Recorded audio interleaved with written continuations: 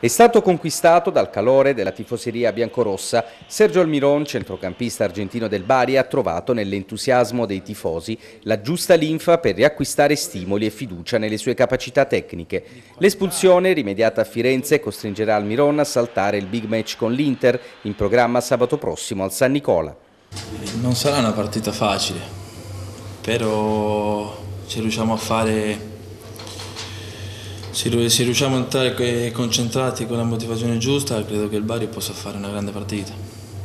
Poi il risultato speriamo bene. Io sto bene, io mi trovo molto molto bene, però come ho detto prima, eh, dai, siccome ancora sono tutto, da, tutto il cartellino è della, è della Juventus e devono parlare con loro.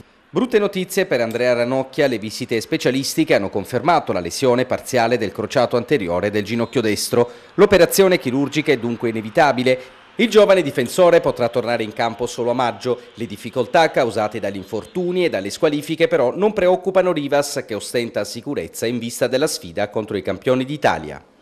Come sarà la partita con l'Inter? Ah, certo che dura, no? eh, ci stiamo allenando per questo, stiamo lavorando. Eh, dopo la sconfitta domenica veramente uno dispiace no? quando sta un po' abituato che, che venivamo, venivamo de, da vincere, eh, uno si tira un po', un po' giù, però è passato quindi adesso vediamo l'Inter.